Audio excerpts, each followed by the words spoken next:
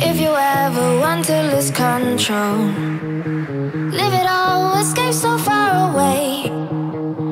Maybe then you'll think it is okay.